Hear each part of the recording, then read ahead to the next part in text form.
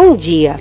Faze um exame de consciência quando possas e quantas vezes te seja viável. Muitas queixas e reclamações desapareceriam se o descontente analisasse melhor o próprio comportamento.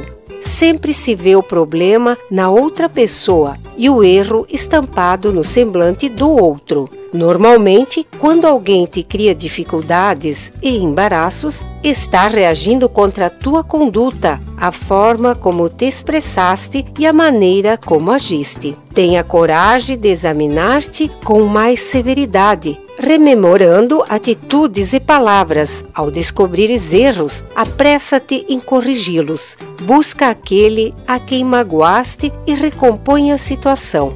Não persevere em erro, seja qual for a justificação.